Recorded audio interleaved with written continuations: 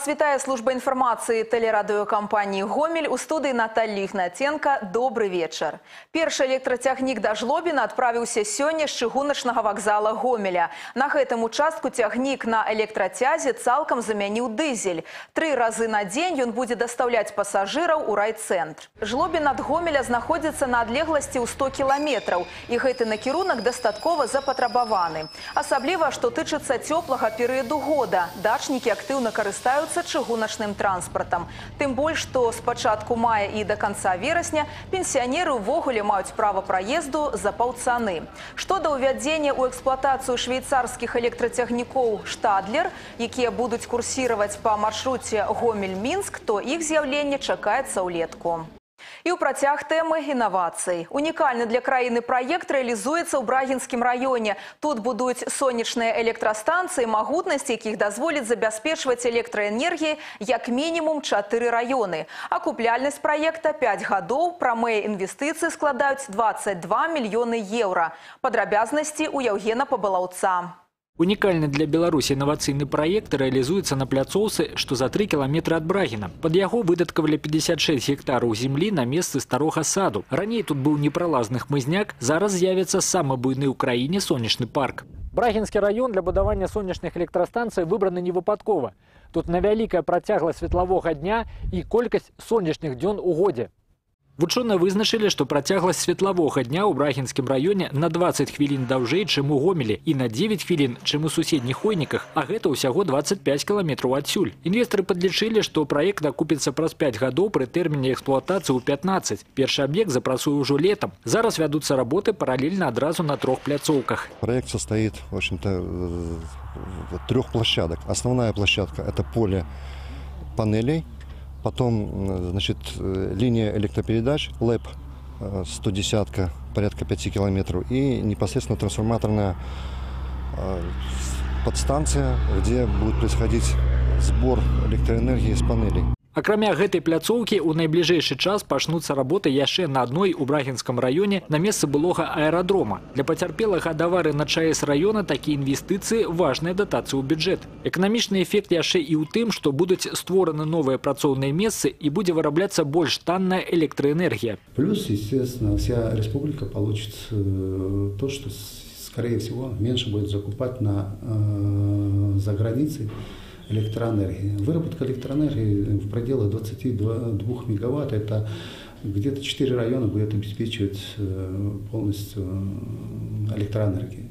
Ёсць інтарэс да новага праекта і ў інвестараў з Польшы і Германіі. Зараз вызначаюць будучыя пляцоўкі пад будаўніцтва. У найбліжэйшы час такія ж аб'екты могуць з'явіцца і ў суседніх з брахінскім раёнах гомельскай вобласці. Яўген Паблавец, Валерый Гапанько, тэлерадыокампанія Гомель. Сёння ў Беларусі пачалася рэгістрацыя на цэнтралізаванае тэсціраванне. Яна працягнецца да першага чэрвеня. Як і раней, абітурыенты маюць магчымасць зарэгістравацца ў адным горадзе, а праходзіць іспыты ў іншым.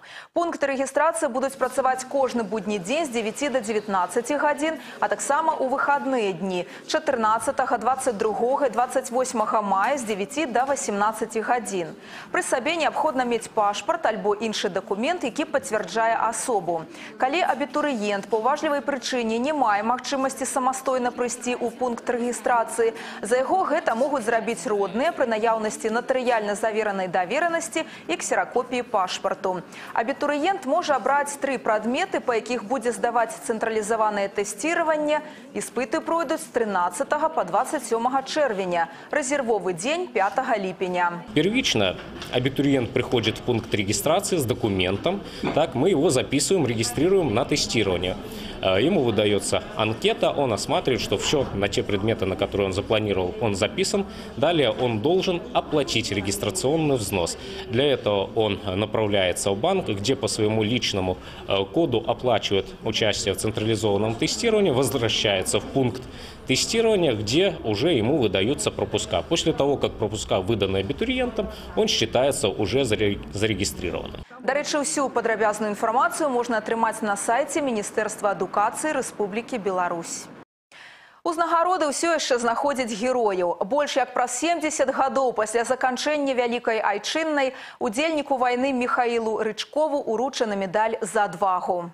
Перад пачаткам узнагароджання для маладых удзельнікаў цырымоніі невялікая экскурсія па абласным музеі ваеннай славы. Сёлета азначаецца 75годдзе пачатку вялікай айчыны, але і праз такі час інтарэс да яе не змяншаецца. Сёння практычна ў кожнай сям'і захоўваюцца рэчы, як напамін аб родных, якія змагаліся на фронтах. В моей семье, включая мою жену, с войны не вернулась просто вдуматься.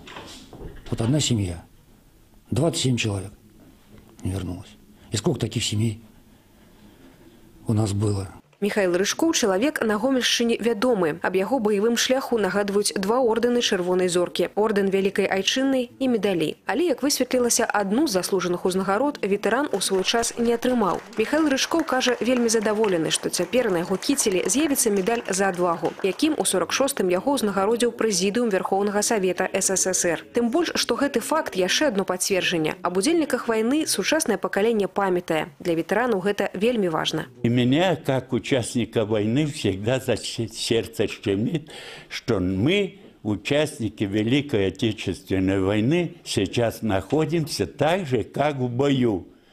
Уходят люди из жизни, и он уйдет, свидетель битвы Грозной, с букетом роз, фиалок полевых. Запоминайте их, пока не поздно, пока они живут среди живых. Напярэдадні дня перамогі ордэнскую кніжку свайго бацькі атрымаў і сын Ісая Новікава, які загінуў у жніўні 41-га. У лістападзе таго ж года загадам камандуючага заходнім фронтам ён быў узнагароджаны баявым ордэнам чырвонага сцяга. Олег Сюнцюров, Ольга Канавалова, Михаил Рабкоў, тэлерадыокампанія Гомель. Памяць пра землякоў, удзельнікаў вялікай айчыннай вайны захоўваюць у гарадскім пасёлку Уваравічы Будакашалёўскага раёна. Тут стварылі музей, экспанаты для якога збіралі самі жыхары. Першымі наведвальнікамі сталі мясцовыя школьнікі. Выхаванне патрыятызму на прыкладзе старэйшага пакалення ў матэрыяле Олега Сенцюрова. С фронтов Великой Отчины в Уваровиче вернулся больше 250 человек. Зараз тут проживае усяго один удзельнік войны. Тым больш важна захаваць памяць аб земляках, якія змагаліся за перамогу. Музей, а дакладней музейны пакой ва Уварычах адкрылі ў мясцовай школе. Са свабоднымі памяшканнямі кажуць, у гарадскім пасёлку ёсць праблемы, а ў навучальнай установе усе экспанаты яшчэ і пад надзейнай аховай. Тым больш, што тут сабраныя рэчы, якія з'яўляюцца сямейнымі рэліквіямі, калі ў 2009 упершыню агучылі ідэю стварення музея на аснове мясцовых матэрыялаў. Некаторыя аднесліся да яе скептычна, але потым пагадзіліся. Гэта карысная справа. Многие с трудом отдавали, многие отдавали, зная, что здесь люди увидят это, не будет лежать оно где-то дома в шкафчике просто, а будут знать, что вот были такие-то участники войны.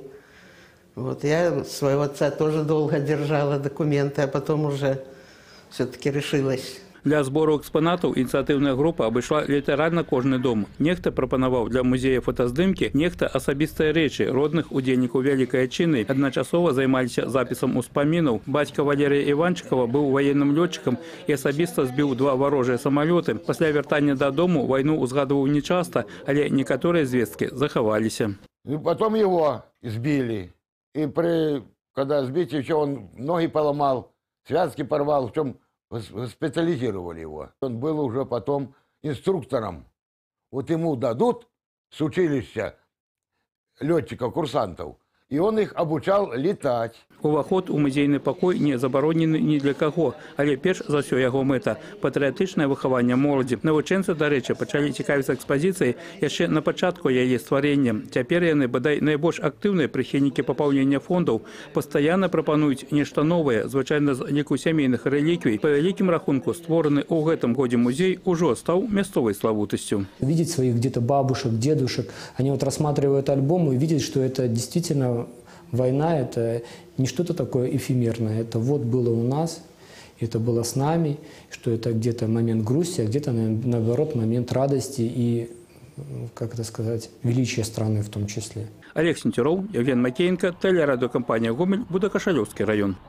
Гомель Аблаўтатранс праводзіць дабрачынную акцыю для ветэранаў і ўдзельнікаў вялікай айчыннай вайны. 8 і 9 мая паездкі па ўсіх маршрутах руху транспарту для іх будуць бясплатнымі. Акцыя для прадпрыемства з'яўляецца традыцыйнай. Яе галоўная мэта аказанне дапамогі абаронцам радзімы.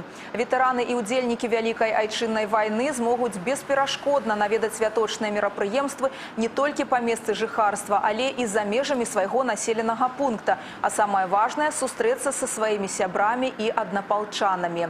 До того ж 9 мая у пассажирских автобусах, на автостанциях и вокзалах будут гучаць песни военных годов, а на самых буйных з іх можна будзе паспрабаваць салдацкую кашу. Працягваем выпуск. Як вядома, улетку ў Беларусі будзе праведзена дэнамінацыя. З 1 ліпеня і да канца года старыя і новыя грашовыя знакі будуць знаходзіцца ў паралельным звароце. Імі можна будзе расплошвацца без абмежаванняў у суадносінах 10 тысяч да аднаго. І ўжо зараз за два месяцы да пачатку дэнамінацыі фіксуюцца выпадкі махлярства. Злаўмыснікі прадстаўляюцца сацыяльнымі работнікамі і прапаноўваюць пенсіянерам памяняць старыя грошы на новыя. Некаторыя даверлівыя грамадзяне згаджаюцца і пазбаўляюцца сваіх зберажэнняў. Спецыялісты нагадваюць, што грошы можна будзе абмяняць толькі ў банку і толькі з 1 ліпеня. І зразумела, трэба ведаць, як самастойна адрозніць падробкі ад сапраўдных купюр.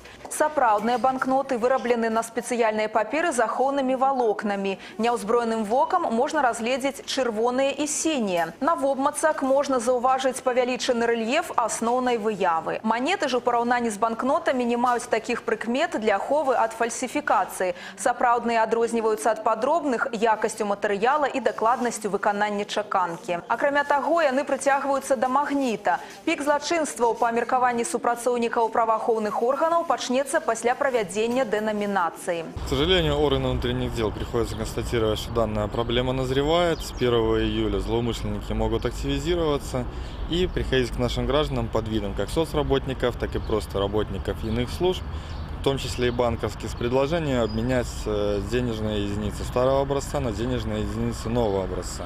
Вместе с тем, милиция области напоминает, что обмен денежных знаков будет производиться исключительно в банковских учреждениях. Никто из социальных работников не будет приходить ни переписывать купюры, которые находятся на сохранении у наших граждан, ни тем более предлагать их поменять. Калі ж да вас прыйшлі падазроныя людзі, якія прапаноўваюць абмяняць грошы, запамінайце іх знешні выгляд і асаблівыя прыкметы і неадкладна тэлефануйце ў міліцыю па нумары 102. Да іншых тэм. Гомельскія артысты сталі пераможцамі міжнароднага творчага конкурсу. Удзельнікі групы «Калейдаскоп цудаў» прызнаны лаўрэатамі першай ступені на міжнародным форуме дзіцяча-юнацкай творчасці «Стар-шоу» у намінацыі «Клаунада. Арыгінальны жанр». За выхаванне маладых таленавітых артыстаў, высокі прафесіяналізм і асабісты ўклад у развіццё мастацтва спецыяльнай падзякай форуму адзначаны кіраўнік «Калейдаскопа цудаў», адзін з лепшых ілюзіяністаў Беларусі Мікалай Манец. Конкурс прайшоў у Мінску у пяты раз і сабраў паўтысячы прадстаўнікоў розных відаў сцэнічнага мастацтва з Беларусі і замежжа. Гамельчанкі Людміла Балігатова, Вольга Стасёнак, Яна Саладухіна на годным узроўні прадставілі адзін з самых складаных эстрадных жанраў. Іх нумар кукарача адзначыўся не толькі адменным пачуццём гумару, але незвычайнасцю і арыгінальнасцю. Козырам выступлення стаў птушыны артыст Воран Гоша. Дарэчы, пераможную праграму гомельскіх клаунэс у маі можна будзе ўбачыць і ў гомелі. Хотя это и звучит банально, но без чувства юмора не сделаешь э, э, шагов вперед и не станешь интересным. И именно юмор помог нам победить. Э, Даже не, э, скажем, не наши костюмы, не наш грим, а вот э, наличие чувства юмора и интересности в, нашей, в нашем номере, я думаю, что позволило нам добиться того, чего мы добились. Это у них только начало. Э, Девчонки, они способные, энергичные, в меру амбициозные. Поэтому у них еще большое будущее. Цёплае, але дажлівае надвор'е чакаецца ў рэгіёне на гэтым тыдні. Па прагнозу абласнога гідрамедцэнтра, у бліжэйшыя суткі будзе пераважна без ападкаў. У асобных раёнах слабы туман. Уначы тэмпература паветра складзе ад 4 до 9 градусаў цяпла, у дзень ад 16 до 21. Падобны характар надвор'я захаваецца і ў сераду, а вось пачынаючы з 5 мая ў рэгіён прыйдуць дажджы і навальніцы. Начныя тэмпературы будуць трымацца на ўзроўні плюс 5-10 градусаў градусаў, у дзень будзе да 21, месцамі да 23 цяпла. На гэтым выпуск завершаны. У студыі працавала Наталья Ігнаценка. Усяго вам добрага і да новых сустрэч у эфіры.